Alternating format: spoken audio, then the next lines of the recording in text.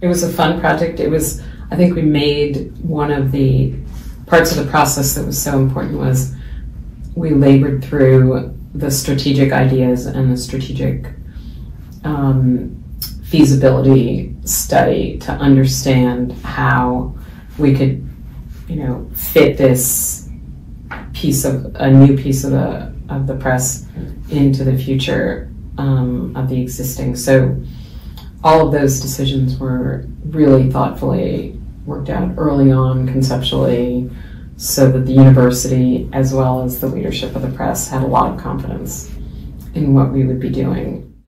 I also thought it was really interesting the dichotomy between the old monastic cells where the editors sat and then our new design was really talking about sort of a new modern take on that where it was the open office and we had you know that whole change management at the time Right. open office wasn't a thing and we were really trying to convince them to um, build a new kind of workplace and then the part that we did build was on the university walk and and then using slate in a sort of a sparing way but it was also you know perfect strategic location for the university We spent about every inch of that proportion. yeah Should it be one more slate course? Should it be one less? spatially it was so amazing that space and the way that the window was also two stories and it looked you know the angle looked out onto the to the walkway from the university that connected the main portion of the university to the engineering quad Right. and how this was like a stop along the way And then just it's kind of quietly landscaped, so it becomes a part